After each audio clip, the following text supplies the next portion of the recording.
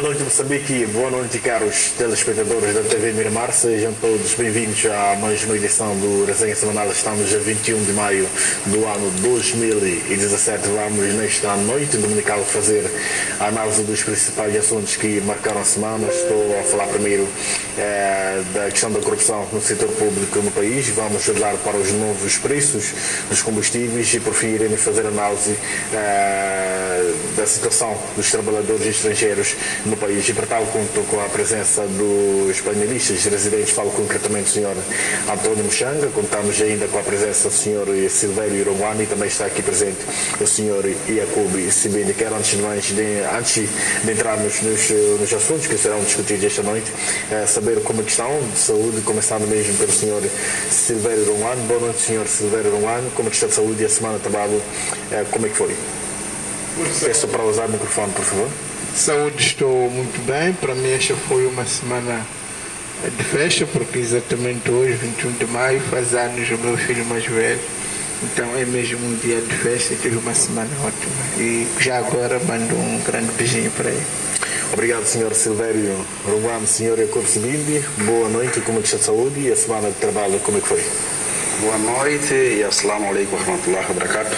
Todos os telespectadores do, uh, deste programa da resenha semanal do Miramar e, entanto, uh, desejar boas-vindas ao Ramadã e já começa pela semana.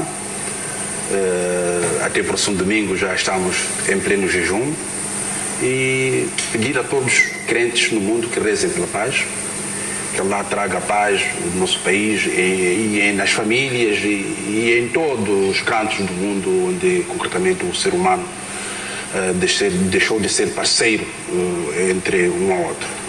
Obrigado então, senhor Jacob Sabino, senhor Antônio Mchanga. Boa noite de saúde, como está? E a semana laboral, como é que foi? Muito obrigado. Primeiro agradecer a Deus pela proteção em vida. Dizer que a semana correu bem.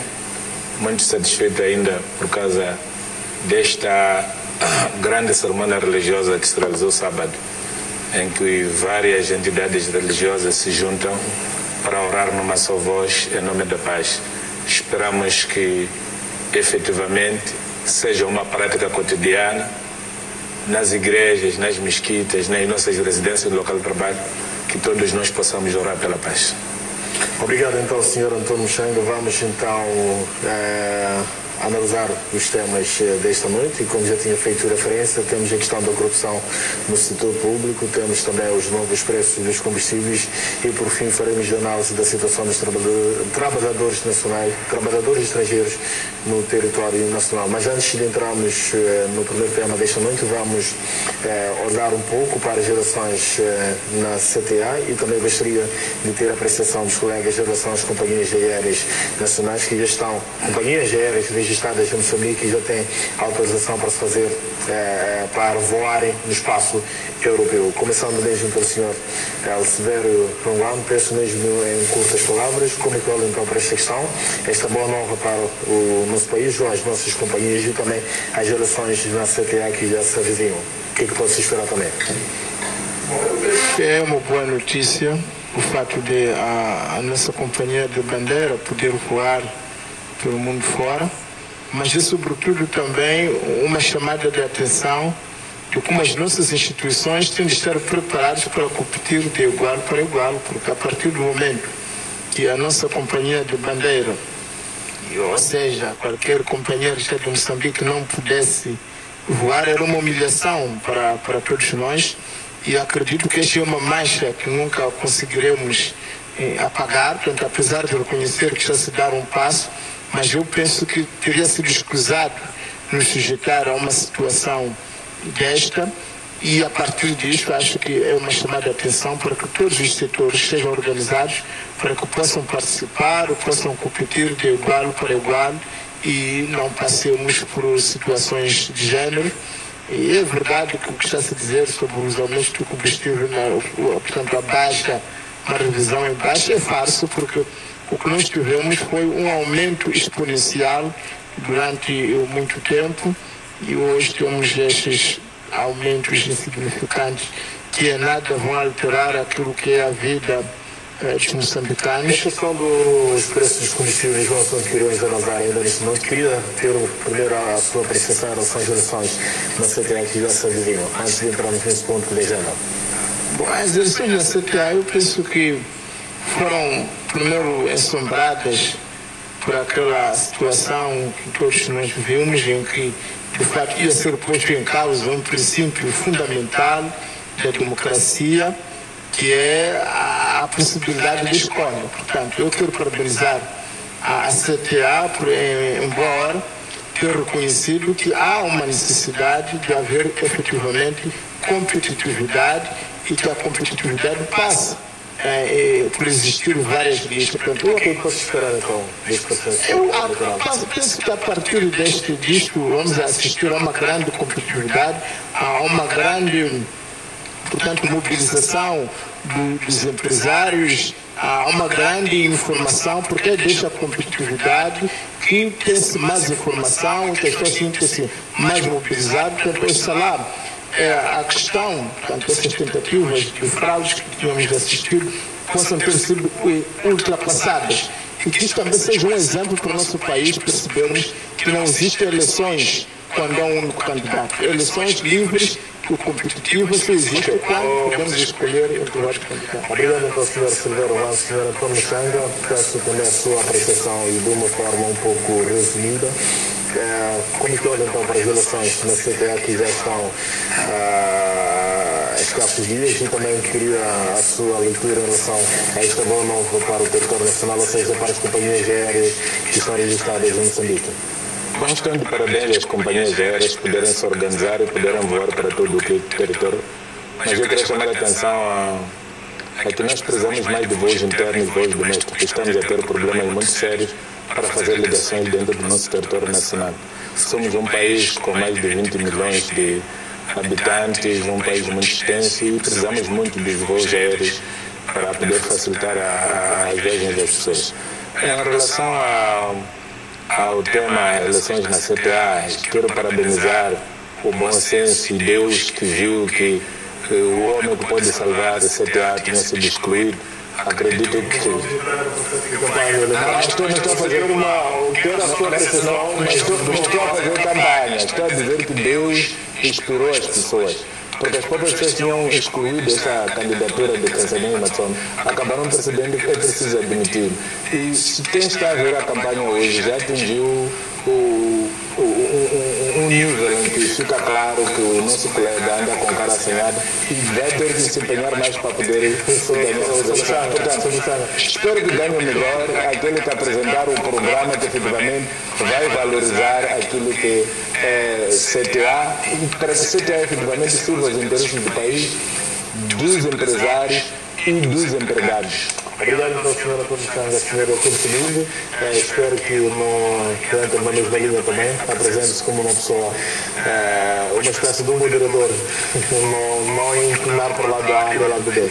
Essa é a sua apreciação, essa a sua primeiro em relação a estes dois Bem, muito, muito obrigado. Como é ponto principalmente do dia, esse para comentar, dizer o seguinte, que está de parabéns o governo presidente Lúcio, porque herdou este problema uh, do banimento da Companhia Nacional, uh, da, da, bandeira nacional no, espaço europeu. E era muito vergonhoso, então ele conseguiu inverter isso.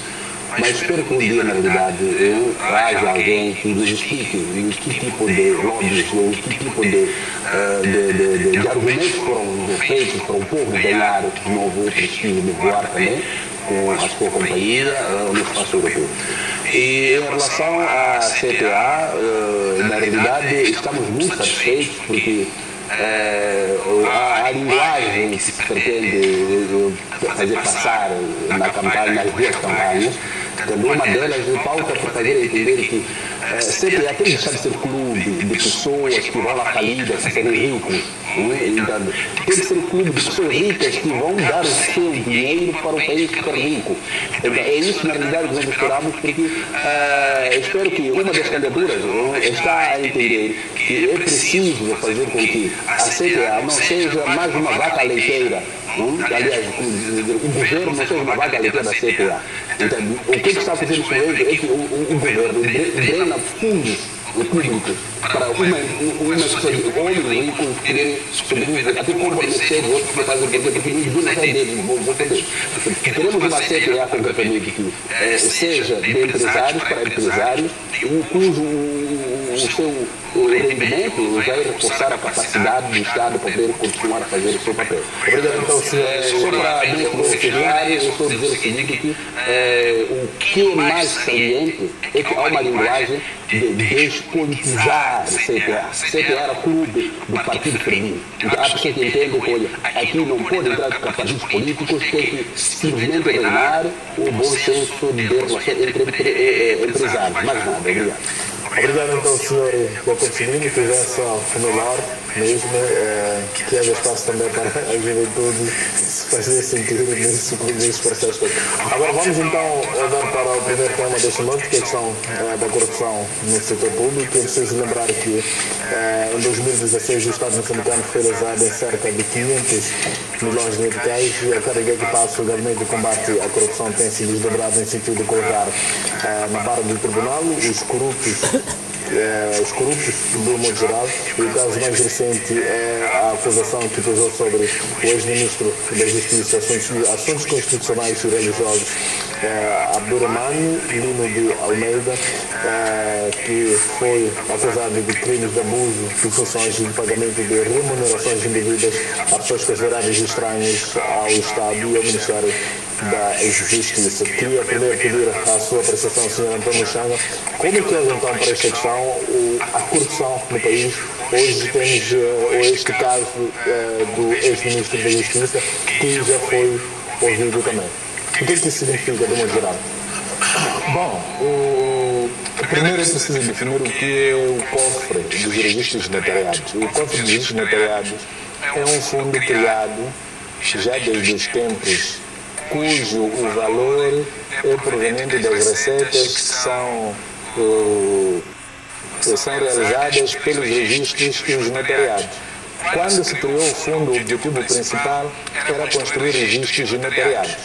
Nós temos registros notariados modelo, quem for eh, mais ou menos a Majacase, for a Panda, em alguns sítios lá no norte do país, há de haver um tipo de registro civil especial. Aquele, aqueles registros foram feitos no tempo colonial com este fundo de registros de notariado. E é através desse fundo também se constroem residências para os funcionários de, daqueles serviços. Lamentavelmente, nos últimos anos, eh, este fundo é usado para beneficiar dirigentes já tivemos situações em que alguns ex-ministros da Justiça foram levar esse dinheiro para construir suas próprias casas e até aqui nunca conseguiram pagar e disseram que tinham sido autorizados pelos primeiros ministros ou pelos presidentes de então. Agora temos este ministro que apesar de ter ser prepotente, ter praticado abuso, desvio de fundos, mas ele depois explica que não foi ele que elaborou a relação nominal das pessoas que levaram com ele pelo que tem que ser ouvido uma série de altos dirigentes do Estado na praia de Nampula.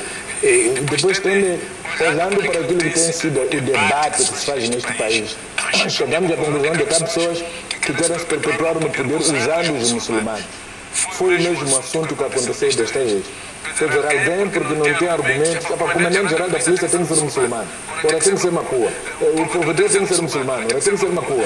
E o selo tem que ser muçulmano. Tem que ser Macua. Agora, chegou a conclusão de que não, as pessoas devem viajar para a Meca, devem ser muçulmanos, mas única, exclusivamente de Nampula, onde era, era, era, era membro da comissão política. Foi fazer a relação, entregou-se a relação ao ministro, o que coube ao ministro foi comprar bilhetes com dinheiro que lhe mandaram tirar do cofre de registros notariados. Porque quem as viagens daquele tipo de pessoas mandatadas pelo governo para mim tem sido as finanças. Então, o ministro das Finanças, efetivamente, o Presidente da República devem explicar por que é que mandataram alguém para levar uma delegação de muçulmanos pobres para a Arábia sem lhe dar dinheiro para pagar bilhete e pagar alimentação. E depois vamos ver o resto. Porque ele claramente ele diz ele não usou aquele dinheiro à sua custa. E as pessoas que ele transportou não são da família dele. Por isso que ele pede que a chefe da bancada da frente tem que ser ouvida, a procuradora-geral tem que ser ouvida, o próprio presidente da Câmara tem que ser ouvido, porque na altura era presidente da República, o ministro da Finanças também tem que ser ouvido. Portanto, eu penso que aqui há muita poeira para ser consumida pelo povo. Agora, mais do que isso, Sr. Caxanga, havia um entendimento segundo o qual eh, quem vai andar ao tribunal são pessoas que eh, pessoas de pouca posse, não é? Então entendia-se que as pessoas que têm um poder um pouco mais elevado se comparado com a maioria dos moçambicanos, dificilmente eram levados ao tribunal. Com esse cenário, uh, como é que podemos então avaliar o setor da justiça? O, facto de hoje termos um ex-ministro que é colocado uh, na barra do tribunal. Bom, é um bom sinal, mas não é tanto a quanto porque ainda a situação continua seletiva. É, eu vou te recordar que o Manhongo foi para a cadeia, mas o, o, o, o vice-comandante-geral da polícia também está acusado que existe que comeu mais dinheiro do que Manhongo até hoje está passeando. Agora, o que ele norteou que em processo gêmeo, o Manhongo entrasse na cadeia o outro até hoje, o assunto não tenha fechado. Então, significa que alguma coisa está andando. Também, se tivesse seguido com a Burra, mano, de Almeida é demitido por causa daquele dinheiro, a coisa ficava, ficava clara. Que ele foi demitido por outros assuntos, agora querem o aproveitar. Isto não, não, fica, não, fica, não fica bem. Eu gostaria de ver pessoas que são demitidas por terem brincado com o raro público e, consequentemente, depois da demissão, serem entregues rapidamente ao, ao tribunal. Ok, obrigado então, senhora Antônio Sanso, por um ano. Uh levanta a mesma questão para si, quero a sua apreciação em a, esta, a este caso do ex-ministro da Justiça e, por outro lado, existe uh, aquele entendimento por parte da opinião pública segundo o qual uh, o poder, o, a justiça moçambicana, o setor da justiça tem poder para agir, mas não o faz porque, uh, de certa forma, está acorrentado ao poder político. Como é que olha, então, para esta questão, este entendimento geral e versus o caso em específico que assistimos nos últimos dias? Eu penso que podemos considerar que a, a, situação está a mudar, está a mudar de uma forma muito lenta, porque há de perceber que a quantidade de pessoas com pouco poder, com poucas posses, que são julgados por causas, até por causas já podemos considerar que triviais, é muito mais elevado. Enquanto o número de pessoas com posições no, Estado que efetivamente praticam ou têm indícios de, de, de prática de crimes gravíssimos andam aí. Então é preciso lembrar que nós ainda estamos com os casos de Matum, Proindo, que os outros que ainda não estão a, a, a ser julgados e, pelo que sabemos, prejudicaram milhões e milhões de moçambicanos que continuam a prejudicar. Para ver que é verdade que de algum momento para cá tem havido efetivamente dirigentes que, que são presas, que são arguídas, são levados às barras do, do, tribunal, mas temos que reconhecer que ainda não estamos ao mesmo ritmo em que corre o pé descalço ou pilha da linha, portanto que a justiça precisa ainda fazer muito para que esta balança seja equitativa, porque é preciso perceber que quando estamos a falar da grande corrupção, esta grande corrupção tem o condão de prejudicar muito mais pessoas, enquanto um pilha da linha. Vai prejudicar uma única família de cada vez que, que rouba, a grande corrupção prejudica milhões e milhões. E repare que, por exemplo, se estamos a falar de roubos, por exemplo, de desvio de dinheiro para medicamentos, estamos a dizer que há crianças, há idosos, há mulheres que vão morrer porque não há aqueles medicamentos que foram transviados. Estamos a falar, neste caso, dos dinheiros ligados aos registros notariados, não é? eventualmente por causa desses, desses desvios, há zonas que não há de haver, não vai se construir registros notariados e por, por via disso há milhares e milhares de crianças que vão ficar por registrar e porque não são registrados não vão ter acesso à escola e por não ter acesso à escola vão acabar na pobreza absoluta. Portanto, é preciso tomar muito a sério o, o, a grande corrupção, porque é esta que mais prejudica o país. E não só isso, a grande corrupção também mina o, o ambiente de negócio. A partir do momento em que o jogo é, é sujo, o jogo é influenciado pelos ministros ou outros dirigentes do Estado, significa que se ataca algo que é primordial, que é a regra da concorrência. Portanto, sem uma concorrência leal, não haverá negócio. Portanto, é preciso, de fato, fazermos muito mais para atacarmos a, a, a, grande corrupção. E é preciso, só para terminar, também lembrar que a questão da grande corrupção também está ligada ao enriquecimento ilícito, não é? E nós continuamos a ver, de facto, nosso Estado. É, muita gente não é? a enriquecer de uma forma que ninguém tem. Porque eu penso que temos que deixar só de esperar que aconteça aquele outro caso, começar a se atacar efetivamente. Só em 30 segundos, doutor Ruano falou aqui que ainda estamos longe para termos um cenário minimamente igual quando falamos da grande corrupção e também as pessoas que estão na base. Que mecanismos de corrupção acha que devem ser eh, colocadas em prática eh, para aquelas pessoas que praticam a corrupção? Penso em 30 segundos. Não, eu penso que a primeira coisa é a responsabilização política todos os que são membros do governo ou ativos têm que ser impolutos. Ou seja, não podemos admitir que alguém que é suspeito, há uma suspeição mínima, continue no cargo. Porque o que estranha é que nós, aqui já neste debate, levantou suspeições de várias figuras do Estado, de coisas com matéria efetivamente, até, mas, que não acontece na frente. Parece-me que tem que se cultivar a cultura de que um dirigente de Estado não pode permitir-se a uma pequena suspensão. Qualquer suspensão tem de levar até ele apresente, põe o seu cargo à disposição, que é para estar livre a, para que a justiça possa atuar por ele. Porque neste momento ainda vigora a ideia no governo um lugar para os criminosos se esconderem. Obrigado então, senhor Silveira. Uh, senhor Jacob Segundo, queria também, uh, peço também que a sua apreciação em relação a este recente caso do ex-ministro da Justiça, assuntos constitucionais, e queria tentar perceber se, na sua opinião, haveria alguma dificuldade para que os guardiões da legalidade travem uh, a dilapidação do, do dinheiro público e também resolver, para que resolvam também os vários problemas que temos registrados quando se fala da questão da corrupção no país? No tempo de partido único, e por coincidência nós que está começando a governar hoje, o país, nunca ouvimos, nunca ouvimos a preocupação do governo da Frelimo de levar os muçulmanos para Meca. Agora, hoje, que estamos no multipartidarismo, então pensa-se que os muçulmanos é uma simples mercadoria eleitoral fácil de distrair, oferecendo bilhetes para rádio, a fim de comprar a consciência desses líderes. Então isso é errado, é profanar símbolos religiosos numa religião que está muito satisfeita em viver num Estado laico. Por quê? Uh, se o Estado por dinheiro para custear os muçulmanos na Meca, então esperamos que um dia apareça outra também igreja e a serem, portanto, para, na, na, em outras peregrinações que existem no mundo, o que, entanto, é, seria muito complicado, não sei, João Cabo. Seria muito complicado esse comportamento.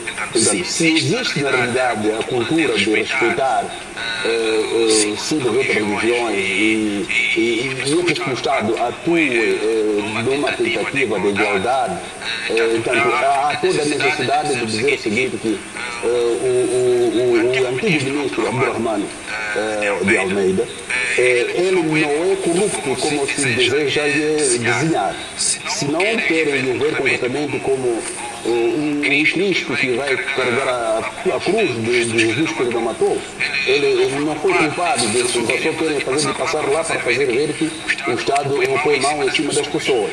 E, portanto, eu espero, na realidade, se existe eh, a vontade eh, de combater a corrupção e de responsabilizar as pessoas que emitem eh, atitudes erradas em relação à interpretação da lei e, e, e dos assuntos do Estado, então todas as pessoas que ele rolou que estão à frente daquela decisão, então que sejam notificados e, e sejam primeiro a serem penalizados antes de, de pelo menos tocarem no, no, no, no, no, no antigo ministro que simplesmente foi um ator material. Ator moral existe, foram denunciados. É esse aspecto que eu gostaria de sublinhar e voltar a dizer o seguinte, que o problema da, da, da, da, da, da, da, da corrupção, eh, não podemos ser enganados, ir atrás de pequenos dirigentes ou de média escala, eh, porque o, o, o proíndico, aliás, não é proíndico, só a e outros, as dívidas públicas e, que, privadas foram tornadas públicas há pouco tempo, eh, estão a ser difíceis de, de, de investigar. A própria já, já, já veio ao público que mais, um dos mais difíceis que encontrou na vida. E eu vou só dizer, o Macamo teve feito mesmo esta questão. Não é porque eu digo que as pessoas que ser presas. É muito difícil investigar um processo tão complicado como das vidas públicas, enquanto as pessoas se passem a sua classe. Se tivesse ser recolhido as pessoas, poderiam ser Obrigado, senhor conhecimento que deixar o tempo nos foge. Vamos observar então um curtíssimo intervalo, nós voltamos daqui a alguns instantes. Até já.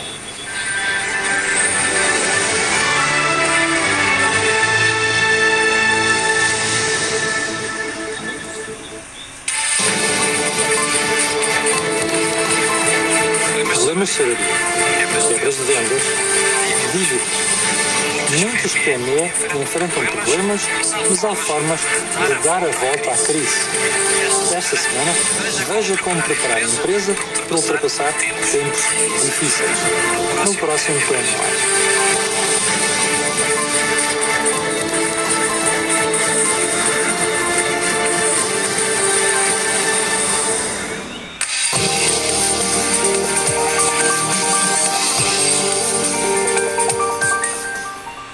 A Luísa fez uma mola de bolinhos que vendeu e o Mitó disse-lhe para depositar no agente em pesa porque é muito mais seguro. Mas a Luísa, como é desconfiada, insistia que preferia guardar tudo na sua lata porque são as suas economias. Mas o Mitó disse: É aqui, pode depositar. E não só, se ninguém não vai na minha conta em pesa. Luísa, depositar dinheiro no agente em pesa de borla, não se compra nada. Olha, e quando você deposita dinheiro na tua conta em pesa, recebe uma mensagem de confirmação é valor depositado. E por isso, o teu dinheiro só fica seguro na tua conta em pesa e não nesta latinha. Mas o Vitor disse, confia, Luísa. Então escolheu. A Luísa confiou, depositou a mola e recebeu a mensagem e já está. Deposita o teu dinheiro no agente em pesa de Borla. Verifica sempre que recebeste o SMS de confirmação do depósito. Faz como a Luísa. Confia no Empresa. Empresa. Facilita a tua vida. Esta noite. é, é a noite. Não é o passado, não é o futuro, é o agora.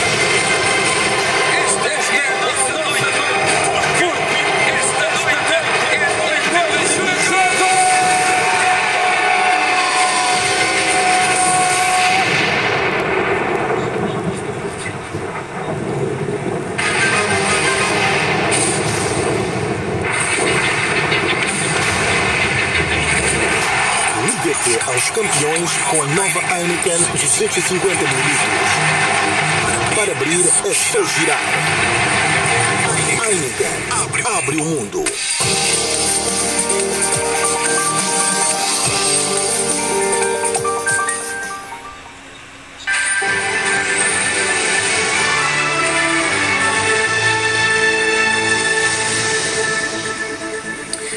Boa noite, uma vez mais estamos de volta para a segunda parte do resenha semanal. Vamos agora fazer a análise dos novos preços dos combustíveis.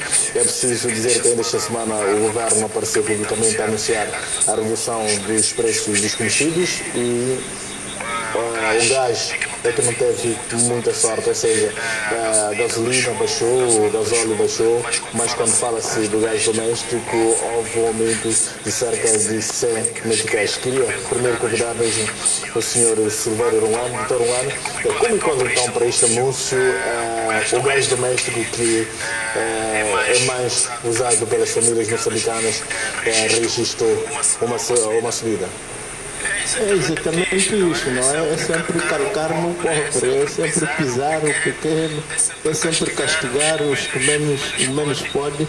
E isso que é triste, porque a ideia é que Moçambique devia ser para todos, não é? Como nós todos os outros defendemos. Portanto, devíamos, até seguindo aquilo que muitos economistas políticos defendem que devemos sempre na política, devemos sempre na economia tentar dar vantagem aos mais desfavorecidos. Portanto, qualquer política pública devia ter como seu fim primário dar, portanto, facilitar ainda mais a vida aos piores colocados. Mas o que nós estamos a ver é que parece que estamos no liberalismo extremo e mau em que os piores colocados são os castigados de sempre, enquanto aqueles que estão um pouco mais aliviados, esses que são um pouco também eh, mais aliviados. É verdade que no caso eh, em apreço mesmo a, a subir a, a descida dos preços do combustível,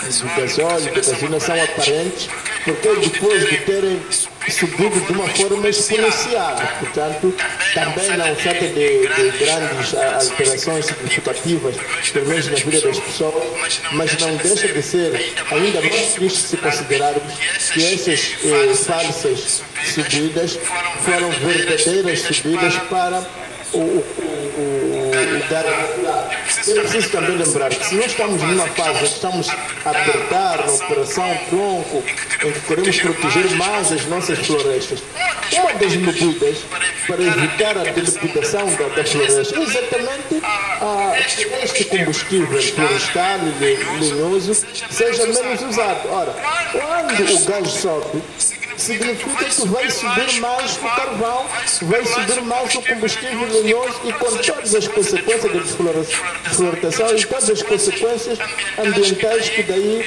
tem que decorrer. Ou seja, aqui temos uma descida de combustíveis, mas no fundo o povo moçambicano continua a sacrificar. E no momento em que Moçambique produz mais gás, portanto, se existe produção que é feita agora em Moçambique, que concretamente em demanda de gás, e as perspectivas que nós temos tanto é, na bacia de pé, de pé, tanto em sofá, são da produção de gás. Agora, se é este o produto que caracteriza. o nosso país, se é este o Salvador Nacional, como é que vai subir mais? Porque parece que esta subida do gás desafia toda a lógica política, desafia toda a lógica eh, econômica, toda a lógica social.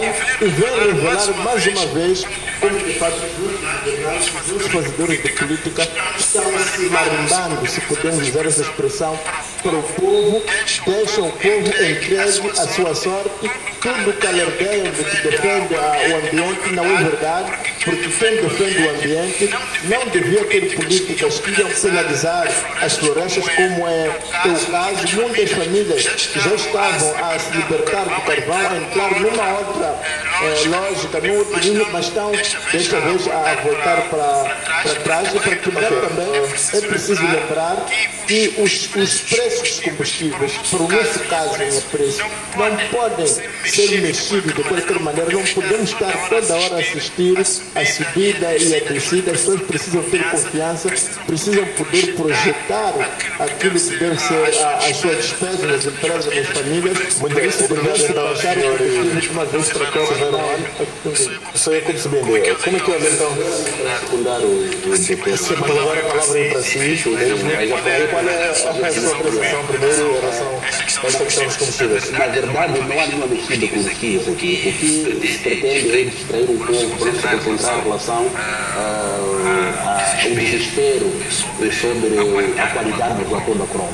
Aparecem culpados, não, não, não, não há nada especial aqui, então, no fim e ao cabo, a Bíblia já passou no Parlamento, já está contabilizada com a Geral do Estado, estamos a pagar. Então, para fazer com que o povo sinta que a Bíblia não faz parte do acesso dessa vida, então as pessoas, então, estão os meus mal informados, que associariam ao governo, o governo para enganar o povo que elege eles para estar no poder. Então, vem com políticas de a subida de, de, de, de combustíveis, sabendo que as datas X vão baixar, o povo estar a olhar e estar contente, para o regime, depois já, já baixar o combustível, já está a andar melhor, e enquanto de um lado estão então, a, a distrair que o povo não se concentre sobre a origem o destino que foi dado oficialmente essa dívida, que seja paga sem que ainda a sentença da PGR Portanto, os tribunais ainda não trabalharam, a, a, a Crole ainda não tinha feito o seu trabalho, mas a conta já está contabilizada na, na dívida pública, têm que pagar.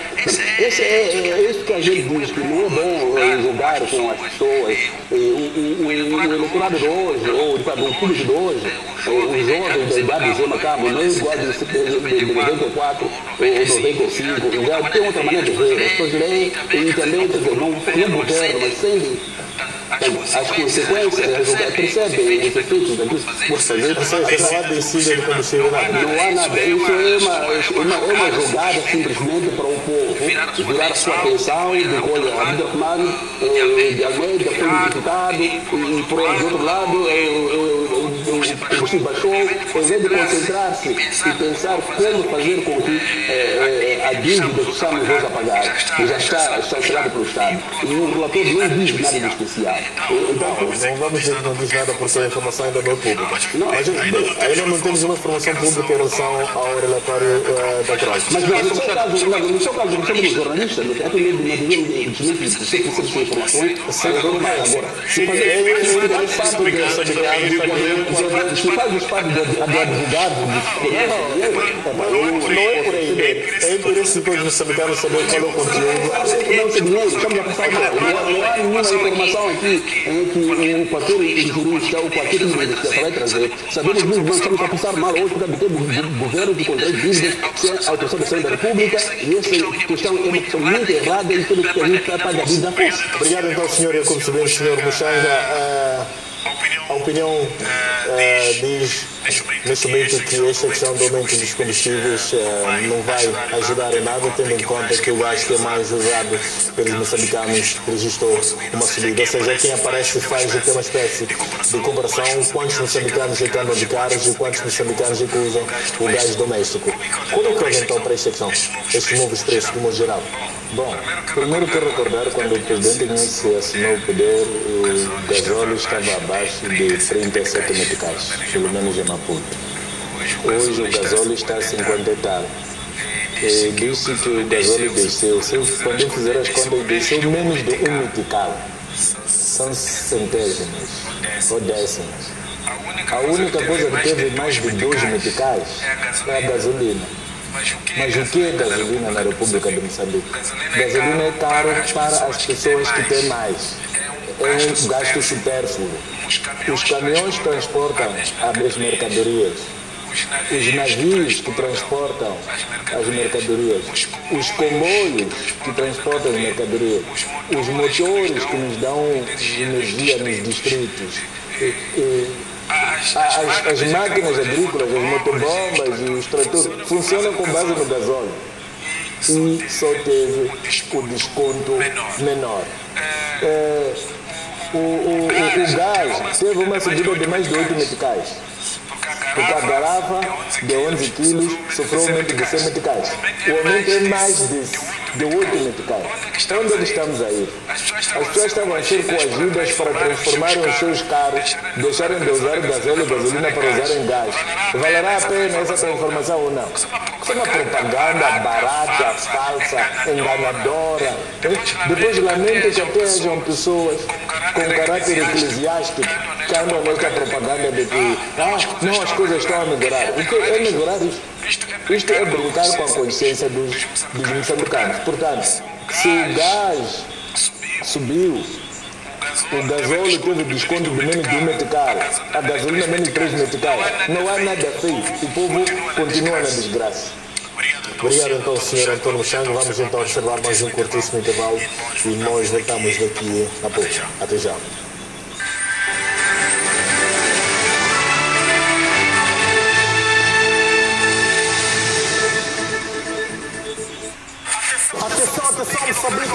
Amanhã, quando for pontualmente 12 horas, o melhor da informação é sempre aqui no Balanço Geral. Até lá.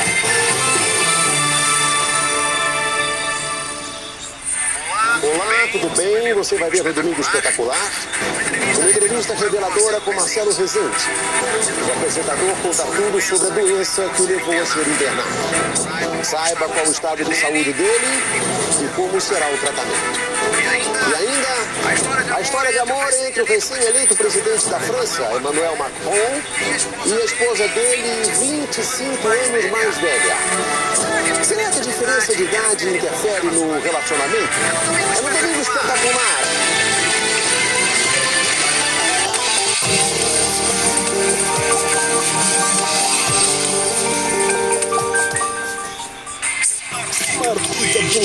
Cool, moderno e com tecnologia avançada, com Android 5.1, com GPS e câmera de 2 megapixels.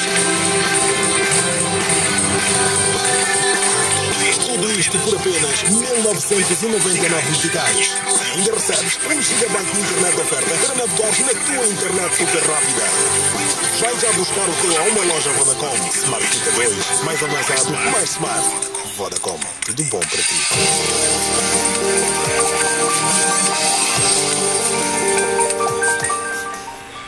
Guaridu, jogo boa, início de semana e começamos em grande. Recebemos aqui no programa de atrações, pontualmente às 16 horas, novos talentos em Momento Fama. Temos vídeos para estrear, grana boa com Antônio Apti. Pontualmente às 16, não deixe de conferir o melhor programa de showbiz em Mons. Atração.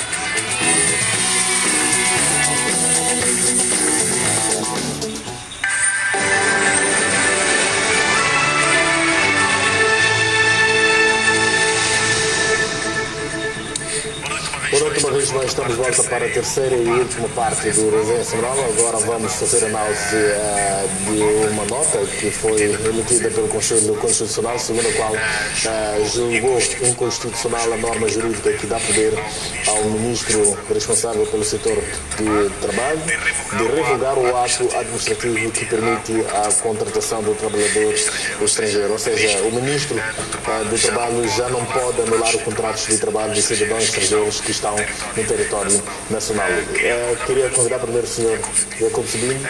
Eh, como que olha então para este assunto? Já assistimos muitos casos de estrangeiros que foram eh, expulsos do território nacional por causa, por várias razões, para não ter que descrever cada, cada situação.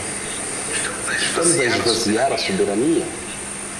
Eu penso que o sistema anterior, o povo vai gostar e gosta de continuar. E já sabíamos muito bem que existem sindicatos que queiram retornar ao Moçambique para vir tomar a soberania de uma maneira eh, indireita. e, profanar essa independência que nós temos, estamos com o sangue. Então, há toda a necessidade de entender que este sindicato eh, tenta comprar os magistrados para legalizar o que eles querem e hoje conseguiram alcançar eh, ter um- já luz verde de, de humilhar os trabalhadores, não respeitar as leis, porque essas pessoas nunca foram acusadas de outra vez, senão falta de, quê? de consideração de que Moçambique está independente e deve-se respeitar os moçambicanos. Eu lamento bastante, e, e não foi de uma conquista. Há muita coisa que o Conselho Constitucional devia olhar, por exemplo, por exemplo, problemas eleitorais, que o Conselho Constitucional ficou totalmente mudo, não falou nada. Há muitos problemas que a gente precisava de ouvir o Conselho A pronunciar-se. Agora vai querer com um assunto que também não precisava andar tão bem, a Helena Taípo criou uma cultura de respeito, respeito à soberania nacional.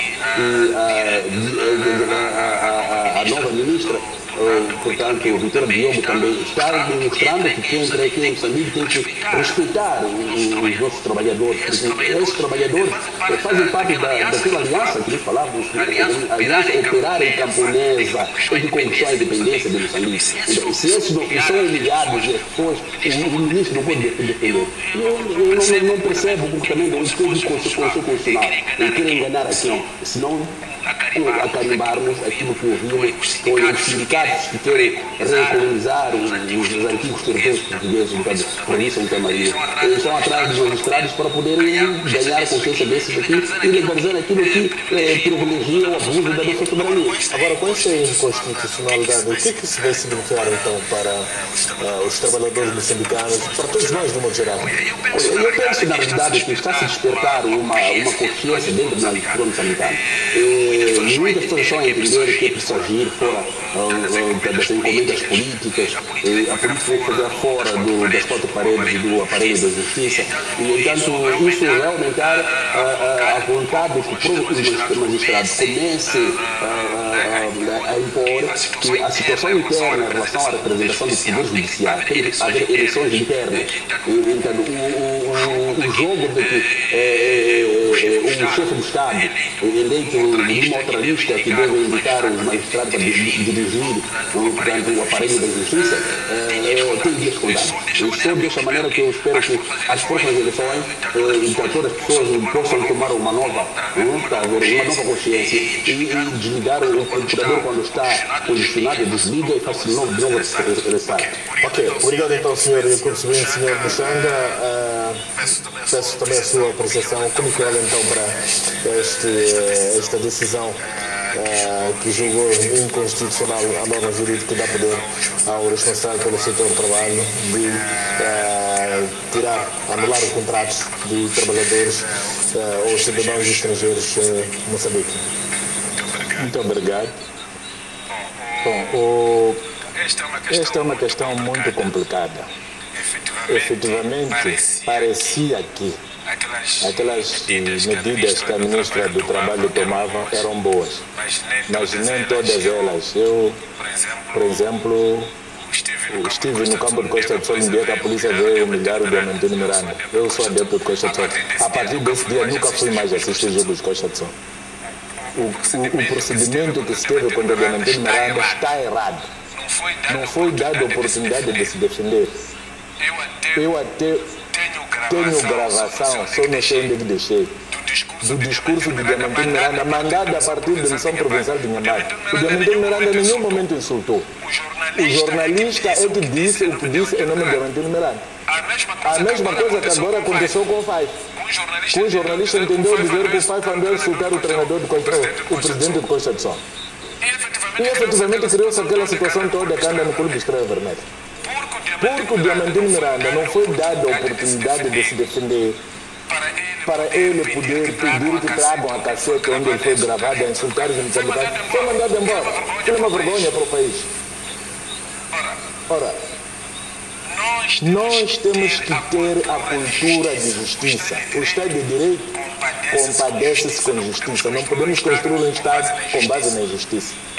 Eu, quando fui ao Sol para dizer que vocês estão a fazer está errado, há uma pessoa que eu não posso falar dele agora, que também já está fora do Sol, um negro da Matola, diz, ah, deixa lá, a gente se desfamba.